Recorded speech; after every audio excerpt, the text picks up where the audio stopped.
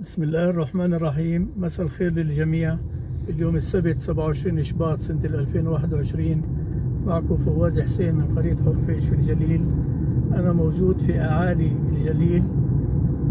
إقبالي في بلدين على اليمين قرية علمة وعلى اليسار قرية الريحانية.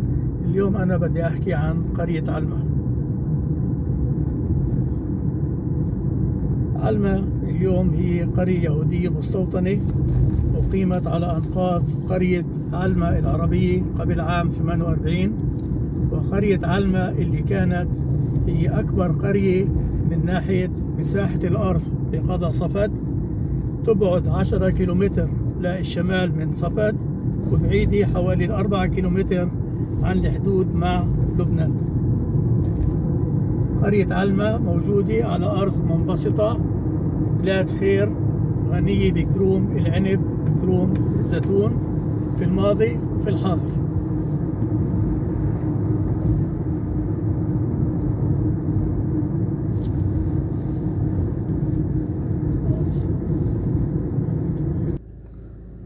هون على اليمين بالضبط المدخل لقرية علمة العربية قلنا.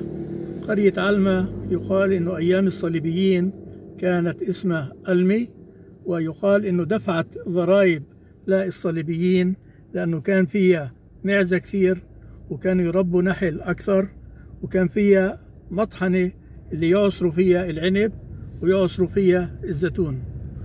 يعني بمعنى ثاني إنه قلنا علمة بلد خير وقرية غنية بالزراعة.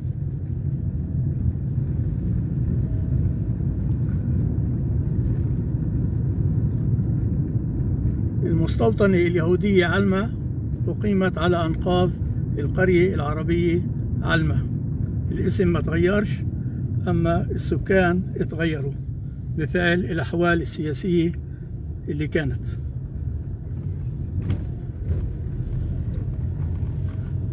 بدي أحكي بالنسبة لعلمة شغلات ثنتين مهمات. في مقولة أنا هون عمال أصور مستوطنة علمة قلنا في مقولة قديمة بيقولوا بيارة علمة علمة في سهلا منبسط وفي تلاتة غنية بالبيارة والبيارة هاي قديش هي غميقة أما يقال إنه بتجمعش مي كثير بفعل نوع التربة.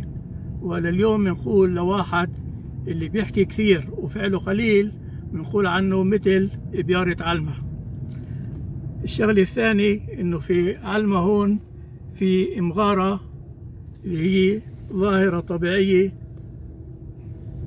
منقطعة النظير عبارة عن ظاهرة كارستية اللي المغارة هاي مؤلفة من عدة طبقات جيولوجية والوصول إلى شيء هوين وهي كنز من الكنوز أو معلم من معالم قرية علمة اللي بدي أقوله النقطة الثالثة إنه علمة في الماضي وفي الحاضر غنية في تربية المواشي وغنية في الزيتون ومعروف إنه زيت علمة هو زيت مميز في كل منطقة الجليل.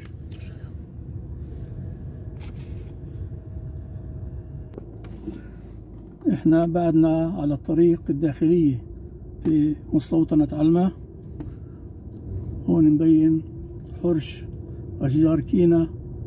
قديم عمره عشرات السنين. نقدر نقول هذا المركز تبع البلد.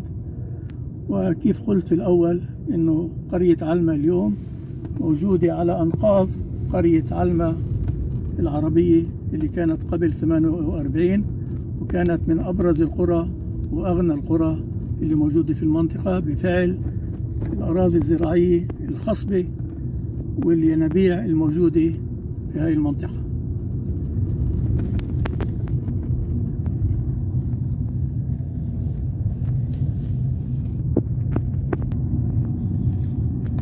صور بعد؟ إحنا ب...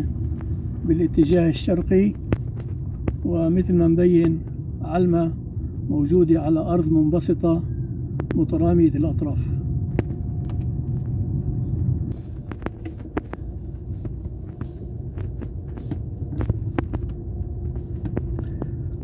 الدنيا ساعة مساء بدي أترككم مع الصورة اللي بتغني عن الكلمة.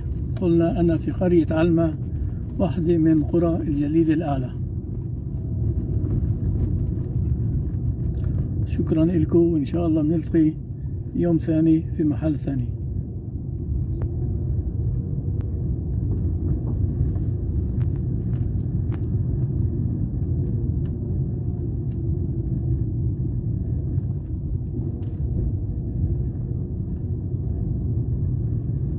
علمل اليوم بعد قرية زراعية فيها كثير مواشي ضأن بقر بالإضافة إلى إكروم العنب وإكروم الزيتون. الزيتون قسم قبل الثمان وأربعين اللي كان على زمن القرية العربية وقسم بعد الثمان وأربعين.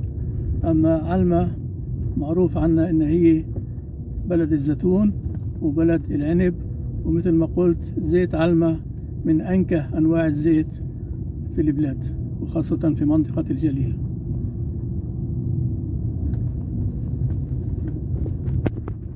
شكرا لكم وإلى اللقاء.